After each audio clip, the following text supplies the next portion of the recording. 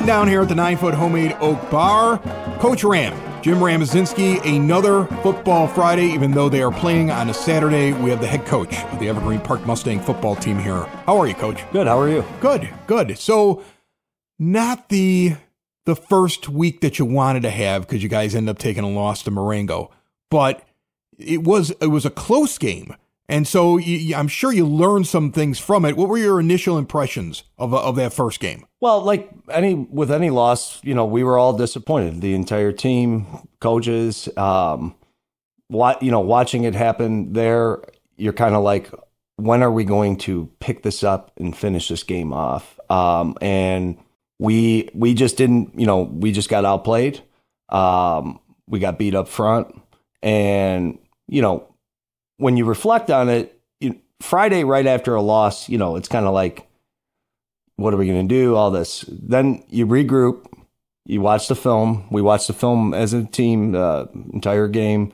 You see that the mistakes that we made, a lot of them are correctable. Some some were some mental mistakes that you know we could chalk it up as first game, long road trip, all that. But at the same time, we're we're not trying to make excuses we we lost, um, and we know we have to get better.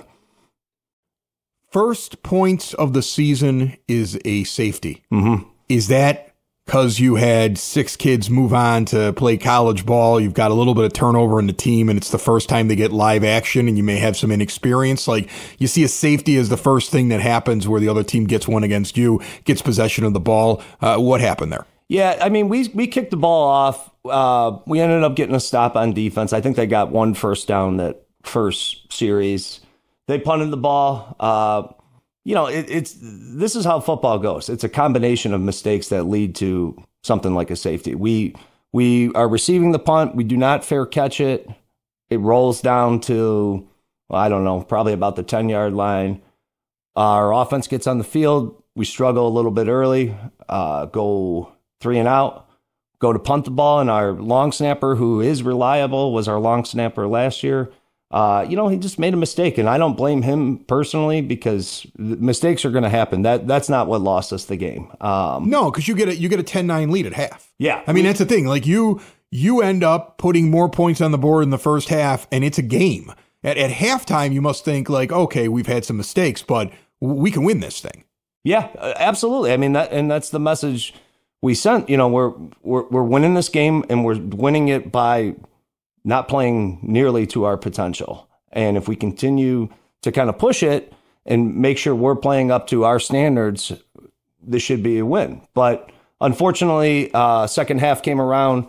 Uh, we, we didn't have a good third quarter. And, you know, Marengo was able to kind of build a lead. And then, you know, we ran out of time. I mean, Marengo was able to run 59 plays to our 35 and and they didn't average a lot of yards per play. It's just they had such a volume correct? Yeah they had a large volume of plays and i mean we were getting stops. We were um, we were putting them in third and long situations. We were doing the right stuff. It's just you know once in a while they would get one on us and they would just extend the drive. And you know uh, they were ground and pound and they were running that clock. Um, and you know unfortunately we ran out of time. Yeah, it's a road trip at the beginning of the year. You're in a you're in a you're in a town. Yeah. We I you know I think I've talked to you about this. I've talked to other coaches about this. When you go to a town and the whole town's out because that's their team, that's quite an environment to walk into first week. You keep the game close, you regroup, you go back at it. What did you learn from this game that you're you're telling your kids about this week? Well, we found out some of our who some of our players are that we weren't sure on. I mean, you know, guy get names that you've heard before. Caleb Kaiser, you know, he came up big, 15 tackles at the free safety position. That you don't see that too often in a high school game. Um, you also he was coming up really hard, helping us in the run game a ton. Uh, Devin Herrera is a name you guys heard before. Lineman, he was a defensive lineman who ended up getting uh, an interception for us. Sniffed out a screen and was able to, you know, anytime a D lineman gets an interception, that's that's kind of a fun moment. Uh, on offense, Rowan Smythe, pretty good debut as the Evergreen Park varsity quarterback, threw for two touchdowns. Um, and, you know, one of those touchdowns was to Ellis Jackson. The other one was to Arshawn Powell, uh, transfer who came in, very uh, dynamic player and did a did a really good job for us. Awesome. So there, you know, you found some players. I'm sure you found some things that you're going to end up working on. You got an opponent on a Saturday afternoon, which I would think now that the schedules are always on Friday nights, having to travel to Longwood, do something really odd like, hey, we're getting ready in the morning for for an afternoon football game on a Saturday, uh, kind of messes with your schedule. How are you planning for that this week? Uh, well, obviously everybody's aware there'll be a timeline to follow Saturday morning, but like we're we're not going to look at that as anything that should get in our way because if we're playing the football that we want to play, if we have the focus that we want our boys to have, this should be um, this shouldn't be an issue. Of getting up on a Saturday morning, getting to the game, and you know, if anything, it, it's um, it'll be it'll be a good day because right now we had a good practice yesterday, very good practice actually. Uh, obviously, I think a lot of our guys and our coaches took a look at ourselves really closely this week and see, you know, what can we do to improve ourselves, help our team. And so far, I see that message has come across from the to the players, uh, and we're hoping to continue to have a good week of practice. All right, so you look at Longwood now coming up on on a Saturday. Uh, what do you know about this team other than what you learned last year when you played them? Because the rosters do change. Your roster changed a little bit. Uh, what are you looking at going in this game? They had some very dynamic players last year. Uh, you know, first play of the game last year, they run a 75 yard touchdown and definitely surprised our players on the field. They were not. Expect- was there a trickery, or was it just like you ran up the middle? Like what, what was what was that? No, they they had a player. They ran a stretch play to the right side of the field on the boundary, and the guy beat us all in a foot race. That guys were late getting there, and you know that's why especially yesterday at practice, we're talking about, you know, you have to play full speed at all times because, you, you know, we, we don't know a ton about this team's roster uh, comparison by comparison to uh, conference opponents. So, you know, we're just planning for, hey, they're going to have they're going to have somebody who's going to be able to fly around. They're going to have a pretty big physical line, and we want to just play up to our potential. If we play to our potential, good things will happen. You talk about the line, defensive line, offensive line. Uh, they're not the flashy players, but they really are the base that a team is built around. And, you know, again, you get guys that are coming in, guys that are leaving, guys that got bigger. Uh, who you know maybe maybe all of a sudden in a position that they weren't in last year. Uh, is that an all year thing you're working on that line? Is it because they, they have to they have to kind of gel and get used to playing, and that can only come from in game experience? Well, in game experience is invaluable for them. You know, the first time together as a unit on offense and defense, you, you can learn a lot about your team and you learn a lot about your players, uh, especially, you know, after watching the film.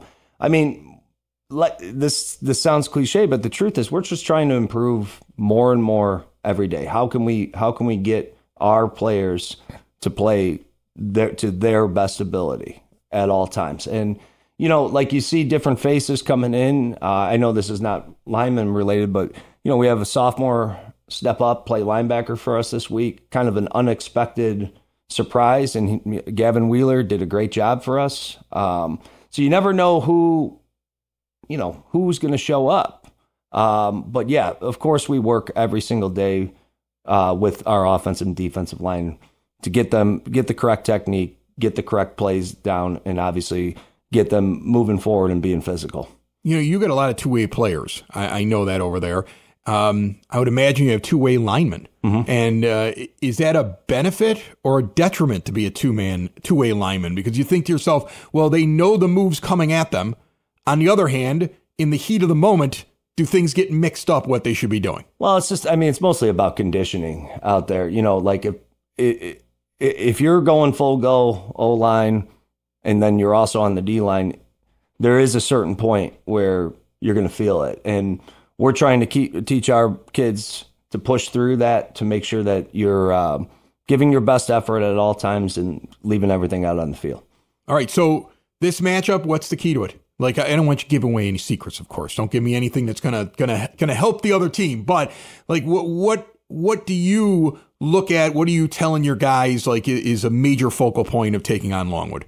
Uh, we need to have a fast start. Uh, last week, you did, need to throw a seventy-some yard pass right away. Yeah, we like need that. to yeah. have a fast start. We need to, you know, last week we, yeah, we were, had the lead at half, but you know, we were down nine nothing pretty quick into that game, and you know, that's, I mean, it, it's obviously it's not a good start. It could have an effect on how some people are looking at the game, but we we need to have a fast start. We need to on both sides of the ball, special teams everybody's got to be locked in, focused. And if we do that, uh, things should go well. But, you know, again, we got to make sure that everybody is ready to go. Okay. Head coach Jim Ramazinski, Coach Ram, for all the kids out there. Uh, I had Amy Kazin on one of the most recent episodes of the EP podcast, and she was talking about all the stuff they're getting ready for uh, a month from now with homecoming. I know that's a long ways off for you, and you could, it, when you're ready for it, you can go back and you can listen to that episode and find out what they have planned for you because they have a lot going on this year around this. There's like a street festival happening before the game. Like yeah. it's going to be goofy. No, I, have been. You're I've, aware of it? I, I am aware. Uh, I know you're shocked. I am. I, I, I, know you want to put on the blinders, just focus on things, and like I know homecoming is difficult on coaches because of all the extra stuff, and you just want to prep for the game. But I mean, like this this seems like it's going to be big, and the preparations over the next couple of weeks, just getting ready for it, uh, pretty exciting around the school. Yeah, it's definitely super exciting. I mean, you know, as much as coaches possibly, you know, look at homecoming week as a distraction, and at the end of the day, we, of course, we we're always talking about stay focused, but you know, like I always think about it, like, all right, seniors, last homecoming. Of course, we want our boys to have fun, experience, have a great experience, and we want the entire school to do that. So we're excited for it. When the time comes, we just got to take care of business between now and then. All right, it's a road game. It's on Saturday. It's their only Saturday game from what I can see here. Taking a quick glance at the schedule, uh, twelve thirty start at Longwood, and then next week back back home.